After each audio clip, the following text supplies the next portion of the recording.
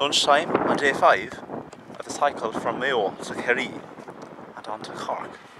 Stopping now for the lunch. Goodbye! Cork goodbye. Of the water and the sweets. Which is mighty fine. And the Kerry Water Service is that. How are you now? How are you getting on? It's a fucking diesel up that hill now. Fucking diesel. 190. Anyway, as a few lads said back home now, we're handily mentally capped to be doing something like this. But I says to you now, so look at that. Sure, aren't you the ones who are handily mentally capped? Scab.